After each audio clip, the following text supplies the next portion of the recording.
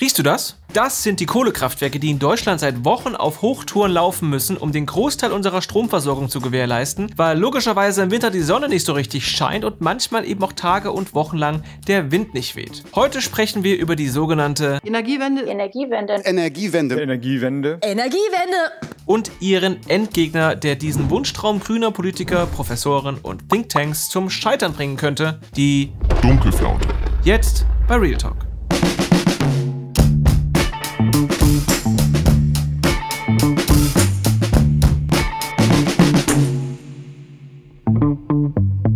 Deutschland ist ein Schmutzfink, zumindest wenn man gerade und seit Wochen auf die Europakarte des CO2-Ausstoßes bei der Stromerzeugung blickt. Gäbe es Polen und Tschechien nicht, hätte Deutschland den dreckigsten Strom Europas und das, obwohl bereits mehr als 500 Milliarden Euro Steuergeld und Abgaben in Millionen von Solarpanels und mehr als 31.000 Windmühlen, also in die sogenannte Energiewende. geflossen sind. So sah das letzte Woche aus. Dicke, braune, schwarze und orangene Flächen. Das sind Braunkohle, die schmutzigste aller Stromquellen, die es gibt, Schwarzkohle und Gas. Und diese drei fossilen Energieträger mussten den Großteil des Stroms erzeugen. Nur sehr wenige Flächen sind hellgrün oder gelb.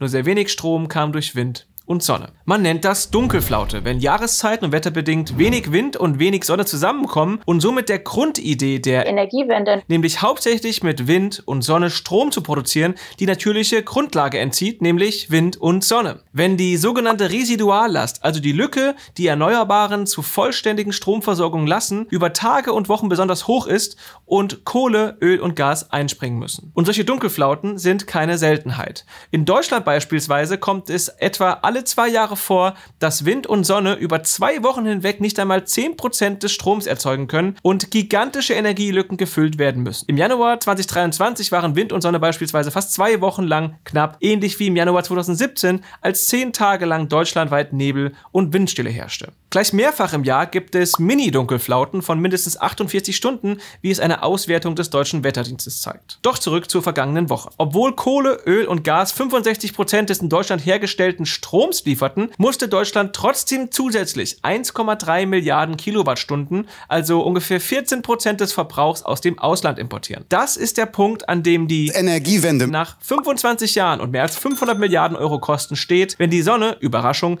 im Winter eher selten scheint und auch der Wind über Tage einmal ausfällt. Dann riecht es nach verbrannter Kohle in der Luft und die Strompreise schießen durch die Decke. Was also tun, wenn Wind und Sonne immer wieder nicht reichen? Im Gegenteil, wenn sie trotz gigantischer Ausbauraten quasi keine Energie liefern. Wenn es nach unserem noch verantwortlichen Wirtschafts- und Klimaschutzminister Robert Habeck von den Grünen geht, mehr von derselben Medizin. Wir haben jetzt im Moment in diesen Tagen ja keine besonders gute Windlage. Das passiert immer mal wieder im November. Das ist quasi normal und schon sind die Strompreise hoch, weil die Erneuerbaren nicht da sind. Wenn die Erneuerbaren wieder da sind, gehen sie runter. Stoppen wir den Ausbau, werden tendenziell die Strompreise höher und das war der Vorschlag. Wenn die Erneuerbaren nicht da sind, geht der Strompreis hoch, weil kein Strom aus Erneuerbaren da ist. Wenn wir den Ausbau der Erneuerbaren stoppen, bleibt der Preis oben. Heißt, wenn ich habe richtig verstehe, er will die Erneuerbaren weiter ausbauen, um solche Wochen wie die letzte und die davor mit wenig Strom aus Wind und Sonne und hohen Strompreisen zu beseitigen. Nur, lieber Herr Minister, wenn eine Windmühle bei Windstille keinen Strom erzeugt, dann werden es auch drei, fünf oder zehn Windmühlen nicht tun. Ähnlich fällt es sich im Übrigen mit Solaranlagen bei Nacht. Aber ich würde euch das nochmal etwas konkreter erklären, wie schwachsinnig dieser Vorschlag ist. Dazu müsst ihr wissen, Deutschland verbraucht in der Spitze an einem kalten Winternachmittag, an dem alle heizen und zu Hause gemütlich Fernseh schauen, bis zu 80 Gigawatt an Leistung. Schon heute, mit den 31.000 Windmühlen an Land und auf See und den Millionen kleinen Solaranlagen, könnte sich Deutschland theoretisch, also wenn alle maximal laufen würden, zweimal selbst mit Strom versorgen allein aus Wind und Sonne. Problem? Sonne und Wind machen, was sie wollen.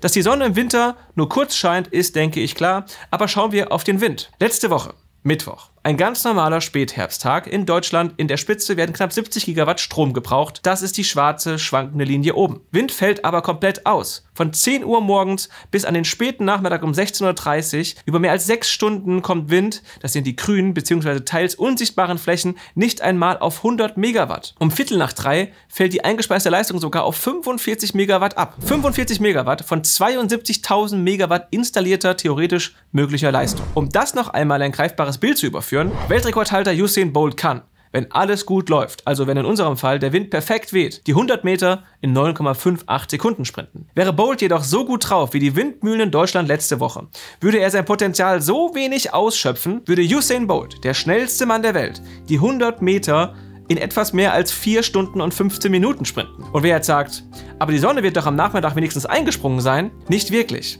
All die weißen Flächen mussten andere Energieträger auffüllen und zwar vor allem Kohle, Gas und Strom aus dem Ausland. Das ist der Grund, warum Robert Habeck die Zahl der Windmühlen auch verzehnfachen könnte und trotzdem in manchen Winterwochen kaum Strom entstehen würde, der in einer modernen Industrienation wie Deutschland aber immer, immer, immer gebraucht wird. Das ist der Grund dafür, warum bei Wind und Sonne immer wieder von Flatterstrom die Rede ist, von Energieträgern, die dann Strom produzieren, wenn die Natur es eben zulässt, worauf sich eine moderne Volkswirtschaft wie Deutschland aber eigentlich nicht verlassen kann. Mit Blick auf die vergangenen zwei Wochen heißt das dann 65% Strom aus Kohle, Öl und Gas, nochmal rund 9% aus Biogas, wobei man sich da auch drüber streiten kann, ob das wirklich CO2-neutral ist, obendrauf nochmal 14% Strom aus dem Ausland und nur der mickrige Rest kam von Wind und Sonne. Der Strom in Deutschland war in der vergangenen Woche mit 550 Gramm pro Kilowattstunde so schmutzig, dass es für das Klima tatsächlich ein wenig besser gewesen wäre, seinen neuen Golf mit Benzin zu betanken und 100 Kilometer Auto zu fahren und dabei etwa 11,9 Kilogramm CO2 auszustoßen, als den schmutzigen Strom in das E-Pendant ID4 zu laden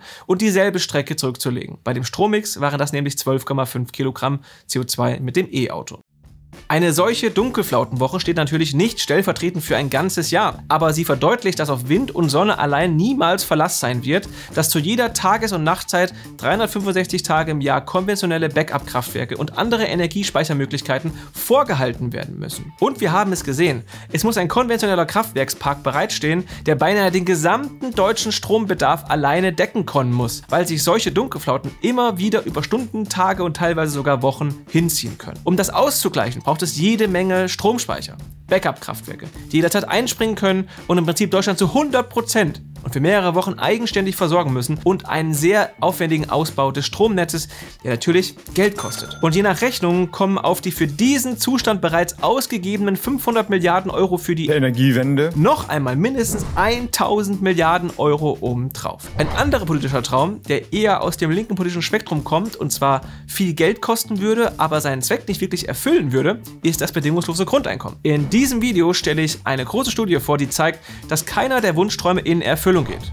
Wie bei der Energiewende. Viel Spaß und bis bald.